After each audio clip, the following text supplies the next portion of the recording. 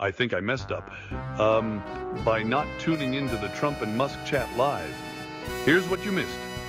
In a two hour conversation on X, yep, that's Twitter's new name, Donald Trump and Elon Musk had everyone talking. But not just about politics. Let's start with the juicy stuff.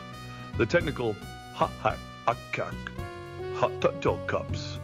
A 40 minute delay had users fuming and Trump's voice, some said he sounded like Sylvester the cat pointing out a strange lisp. Trump's camp says it's all nonsense, but the internet, well, you know how they are. Now, on to the bromance. Musk has gone from competitor to Trump cheerleader, even hinting at a future role in Trump's plans. Meanwhile, Trump talked about everything from an assassination attempt to mass deportations. Oh, and this chat pulled in over a billion views. So, what does this all mean?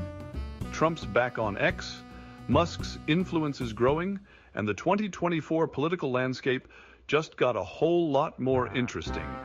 Stay tuned, because this ride is far from over.